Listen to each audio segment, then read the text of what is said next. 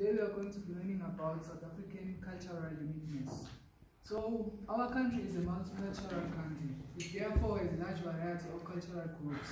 Those groups are namely Zulu, Xhosa, Pedi, Tswana, Ndebele, Khoisan, and Afrikaner people. Those groups have different ways of doing things. It also comprises of different languages as it consists of 11 official languages and is therefore called the Rainbow Nation. Within this context, I would like to describe the following. Folklore, dress, and cuisine.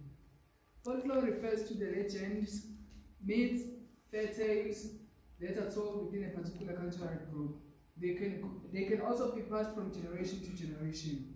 Dress refers to, to the way in which each culture, cultural group wears, which might be their traditional attire, and this can also be identified as the cultural group and can also help one identify the cultural group.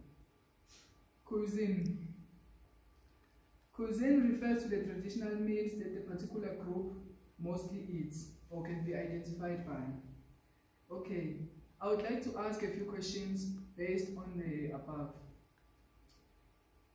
Which cultural group has men who wear ibheshu as their traditional attire? Yes, ma'am. Zulus. Zulus. Okay. What is another word for Mopanians? Yes, sir. Masonj. Which cultural group mostly occupies the Eastern Cape? Yes, sir. Xhosa people. Yes, that's correct.